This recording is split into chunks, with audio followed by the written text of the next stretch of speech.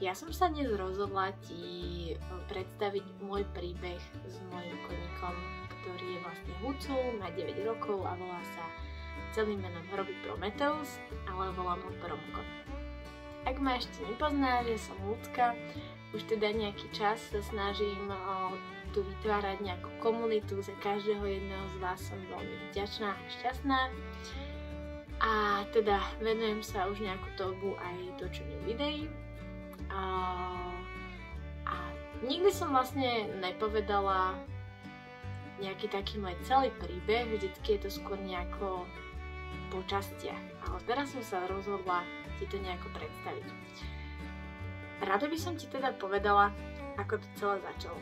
Ja som ešte chodila na strednú školu, kde som sa venovala hucovským stezkám a mala som super dve trenerky, Lucku a Kiku, ktoré veľmi pozdravujem, ak náhodou pozerajú toto video. Ako každé dieťa som snívala, keď som bola malá, som chcela ponika, keď som bola väčšia, tak som chcela už konia. Ale dajme tomu, že som dopadla taký zlatý stred. um, promko má teda 150-151 cm, takže je taký stredne vysoký. ja som každý jeden deň, každý jedný Vianoce, každý jedný narodeniny som prosila rodičov, brata, sestru, každého, aby mi kúpili koňa. Veľmi veľa rokov som sa dopočúvala odmietnutí, a všeličoho, čo verím, že sa aj doteraz uh, dozvedá veľa detí alebo už možno aj dospelých. Ale teda nakoniec prišiel deň D. Ja, bol to úplne normálny, obyčajný deň, myslím, že to bol aj piatok, kedy som došla z Intraku domov, mali sme akurát návštevu u nás doma, u jatetu a proste takých rodinných blízkych, neviem, či bola oslava alebo čo. A mne zrazu cinkla na mobilu správa, čo bolo vlastne od mojej trenérky ľudský, že pozná teda jedného koníka, je to žriebetko ešte menom Prometheus, mali ho ustanené. Ja som ho z hodou okolností poznala, lebo kam som chodila do školy na prax, tak on tam bol nejaký čas ustanený, potom sa presťahoval na iný ranč, čo bol možno, neviem, 4 km odtiaľ, ani ne naozaj že blízko. Takže ja som ho poznala a že je na predaj a či vie, že proste mám na to a tak, či by som sa nechcela kúpiť. Ja už jak s 500 ďalšími želaniami som išla za rodičmi, jak vždy, ale teraz úplne v kľude som teda mamine tatkovi povedala, čo je vo veci. Dokonca mi to bolo ponúknuté ho zaplatiť ako keby na dvakrát, nemusela som ho vyplácať naraz. Cenu tu hovoriť nebudem, tu si skôr nechám pre seba, ale bola to naozaj v tejto dobe už symbolická cena za koňa. A som išla za nimi, prečítala im správu a tak, o tom koníkovi som im niečo povedala. A moja mamina s tátkom povedali, že dobre. A ja som stále rozprávala ďalej. A že dobre, a ja stále som mala do, pocit niečo odôvodňovať a vysvetľovať a prosíkať ďalej. A že mne to stále nedošlo, že oni mi povedali dobre. tak ja celá nadšená, to si nevieš predstaviť moju radosť, nevieš predstaviť. Ale teda samozrejme nebolo to len také, že kúpili mi kone. Ja som chodila na brigády, polku som si zaplatila sama a na tú polku sa mi vyzbierala naozaj celá moja rodina od nevlastných bratov, vlastného brata, vlastnú sestru, už bola to pomoc všetkých, ale už teda ďalšie náklady a tak už som mala na starosti ja, ale tu sa dostaneme. Tak ja som teda trenérke napísala, že ho beriem, vtedy bol ešte ustajnený, teda bolo to v Ivanke pri Dunaji, ale bolo to u Deaka. Takže a moja trenérka bola natoľko úžasná, že dokonca ešte keď som jej predal, tak so mnou poriešila veci, jak je kastrácia, lebo ja som si ho kúpila ešte aj žrebce. Popri tom, ako tu rozprávam, tak budem pridávať aj rôzne fotky, čo ešte nájdem a tak. Uh, tak mi pomohla ešte s kastráciou, vtedy keď som ja chodila do školy a nemohla som náhodou prísť, tak mi ho vodila, keďže bol v boxe, ešte tých pár dní čistila mu rany, poslala mi fotky, informovala ma o ňom a proste robila pre mňa prvé posledné. A čo bolo naozaj úžasné gesto, je naozaj záležalo na tom, aby sa promo dostal do dobrých rúk a videla, že som ešte študentka a hneď ten prvý mesiac som nemala milióny, tak mi zaplatila prvý mesiac vlastne polku z ustanenia, čo tam nebol malý peniaz. Myslím, že to bolo okolo tých 150 eur, ale celkovo to bolo 300, 300 eur, tak nejak. Plus mi teda z vlastných o, peniažkov zaplatila kováča a to boli veci proste, ktoré strašne pomôžu. O, ja som si potom ďalšie mesiac, keďže som 300 eur mesačne nemala, hlavne na konia, ktorého som vedela, že chcem rekreačne a že ho chcem mať ustaneného 24-7 vonku. On tam bol teda v boxoch, ale predtým, jak žriebetko bol naučený vonku.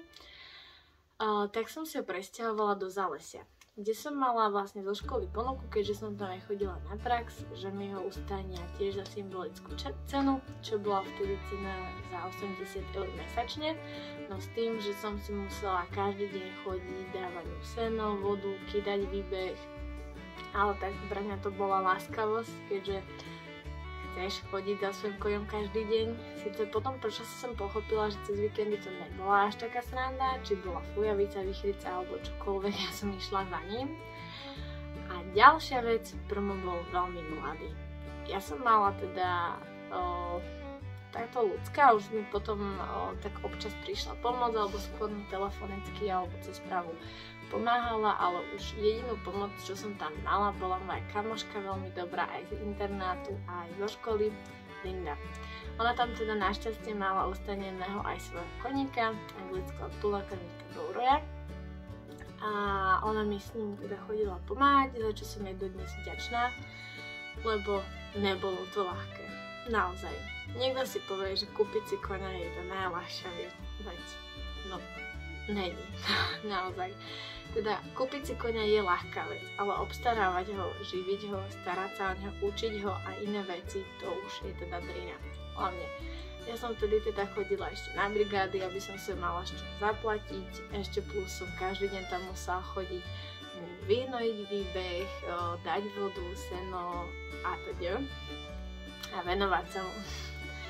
Promko bol zo začiatku veľmi, veľmi zlý moje prvé stretnutie s promom bolo také, že on bol po kastrácii, ja som ho išla vodiť, on sa postavil na zadné, snažil sa mi zdrhať a keď mu to nešlo, tak o, sa rozhodol, že pôjde do mňa s prednými kopitami. Ozaj, akože nepovedala by som, jak sa kôň dokáže dlho udržať na zadných nohách. On to vtedy fakt dlho dokázal. Potom ešte sme sa presťahovali, tak bol strašne lakavý a, a zdrhal z vodítka a proste také typické žriebe, hej, taký kúsavý bol, zvedavý, zároveň sa bál a to mi inak zostalo dodnes, že je taký lakavejší. Ale ja som teda robila tú vec, že na som ho brávala teda na prechádzky po areáli a tak a normálny kôň, keď sa zlákne, tak odskočí alebo sa mykne, ale teda prvo, tak to teda riešil tak, že sa stával na zadné. A úprimne, asi po dvoch mesiacoch, čo som prvá mala, som to olutovala. Áno. Je to tak, nebudem klamať. Olutovala som, že som ho kúpila, lebo som sa ho začala báť. Bola som na v podstate sama, len s tou kamarátkou, ktorá nevždy mala čas on bol veľmi zlý. Takže hej, bala som sa ho a keď som na ňo bola sama v niektorých situáciách, bola som neskúsená, žriebe som nikdy predtým neučila, nemala, tak to bolo dosť divoké. Ale dneska som na seba veľmi hrdá aj na ňo, kam sme to dopracovali. Naozaj. Ale potom teda zo Zalesia som si ho, vlastne v tom zálesi, keď sme ešte boli, tak sme sa učili vodiť, on teda bol naučený na čistenie, zdvíhanie nôh, ale v podstate ja som s ním začínala úplne zase od tých základov, aby si hlavne na mňa zvykol. A veľmi čo mi pomohlo, ja som učítala knihu. No ja som si sadla k nemu do výbehu, začala som učítať knihu, aby si zvykol na môj hlas a proste sme spolu trávili čas. Snažila som sa ho pomaly učiť lonžovať, kde som ho vlastne brávala do kruhovky. Tam na lonžke fungoval parádne, lenže to bol kruh, hej, takže tam to bolo fajn. Ale tam som sa teda ho snažila učiť na moje hlasové pomôcky. My používame pri spomalení, pri zastavení hov, alebo poď klus, hop a takéto typické, každý má svoje iné, tak ja som ho učila na svoje, ale hlavne aj na moje hladiny hlasu, hej. A tam bol úžasný v kruhovke, fakt super. Tam som ho učila pomaličke, cez kavalety sme blbli, dávala som si na zem deku, s igelitkou som ho ložovala, s plastovými fľašami som ho zoznámovala. Naozaj som sa snažila robiť všetko preto, aby bol menej lákavý a vtedy mi to naozaj veľmi pomáhalo. Videla som na ňom obrovský progres, že sa niečo šuchlo, on sa pozrel, hej, že nebol taký, už sa proste nezdvihal na zadné a nešiel do mňa. Čo už o, som bola rada. Potom, toto sme robili strašne dlhý čas, keďže promo nemal ešte ani 3 roky, tak sme sa učili lonžovať, vodiť, čistiť, zubadlo do pusy, cez, pre, eh, cez prekažky, cez kavalety, o, pokladala som na ňo dečku, s obrušníkom som ho lonžovala, so sedlom, proste učili sme sa. Až potom vlastne s kamarátkou sme ho začali lonžovať vonku na jazdiani to keby niekto vidí, tak to je epic fail 20 krát do minúty, lebo Promko bol veľmi zlý. On vždycky na ložke si teda vyhadzoval, vykopával po nás, aj to mám našťastie teda fotky z toho. Ale prešli dve minúty, my sme boli na jazdiarni dĺžke okolo 80 metrov, my sme boli na konci a za dve minúty sme boli na začiatku. On nás obidve ťahal jak handry. Potom niekedy sa stalo, že preskočil plot, niekedy to podbiezol. Bola tam naozaj tenulinka, skulinka, cez ktorú sa dalo prejsť a on cez ňu prešiel, ale tak tu pridávam aj fotku, jaká žiletka bola z neho, hej. On bol veľmi teda chudučký, že taký nedospelý nebol to proste taký typický je teraz. A to sa začal adrenalín. Už vyslovene, akože aj riaditeľka nechcela, keď tam mali napríklad voltíž alebo tak, tak e, ne, že mi zakazovala, ale poprosila ma, či nemôžem chodiť do kruhovky alebo tréningy mať mimo doby, kedy tam jazdia druhý, alebo kedy tam majú voltíž, pretože sa to občas stávali nehody. OK, tak sme si na to dávali pozor. A Samozrejme aj toto bolo len nejaké obdobie a potom už keď vedel byť na tej ložke, síce blbol na tej ložke, on stále vyskakoval, vykopával, ale už sme ho dokázali udržať na normálnom kruhu, aj vonku sme ho učili na rôzne hlasové povely, tak už bol ten čas a ja som na to nebola psychicky pripravená ani fyzicky, ale Linda bola a ona jeden deň, že dones si prilbu, a on tam skákal aj kamzik. A on to je si prilbol úplne v pohode. Takže Linda, čo? A on no poď ideš na ňo. a ja bože, ne. tak uh, teda, dobre, išla som si pre prilbu, vyliezla som na Tromka. Jeho reakcie, jak pri obsadávaní, tak pri jazdovaní neboli žiadne. On bol veľmi dobrý, jak na prvé kroky, úplne si dneska pamätám, to mám tiež teda našťastie fotku, kedy som na ňom sedela úplne prvýkrát v kruhovke, kedy ma Linduška viedla. Potom takisto mám fotky aj na jazdiarni, keď sme sa obsadali. A vlastne teda úplne prvýkrát, keď som na ňom sedela, tak ma iba Linduška povodila, to sme ho pochválili a nechali sme ho tak a na ďalší deň som na ňom išla na jazdiareň, kde ma mala zase na ložke a tam sme už vyskúšali rovné klusy. Akože všetky tieto procesy boli naozaj chvíľkové, keďže prvá bol striebetko, bol za prvé aj taký nevyspytateľný a za ďalšie netreba to s ním robiť dlho, treba keď to spraví dobre, tak pokoj. Je to proste jak práca so šteniatkom, krátko, ale dobre. A ja som bola neuveriteľne šťastná fakt strašne šťastná.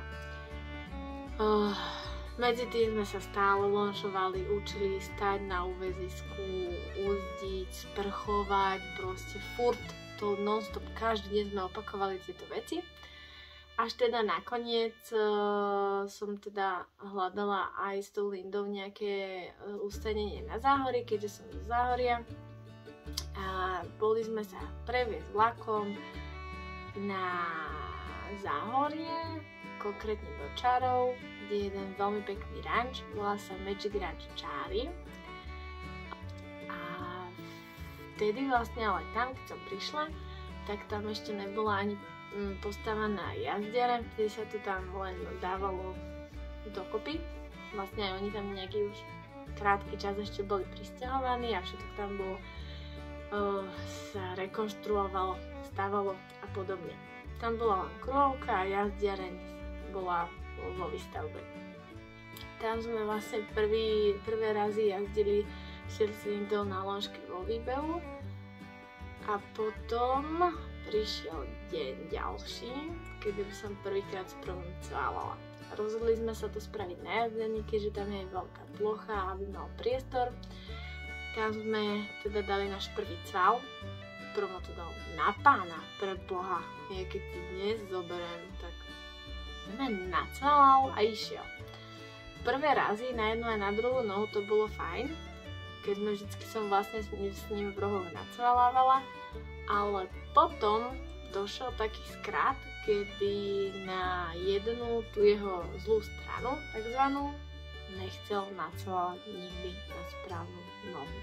Nikdy.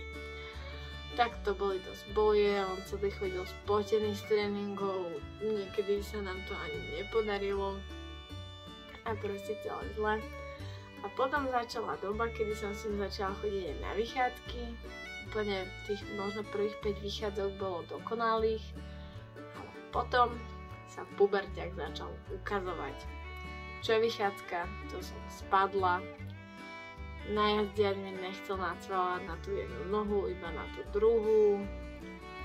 Do výbehov, keď vlastne tá majiteľka ranča vodila, tak bol zlý, utekal jej, utekal z ohradníkov, a proste začala typická časť mladého puberťaka.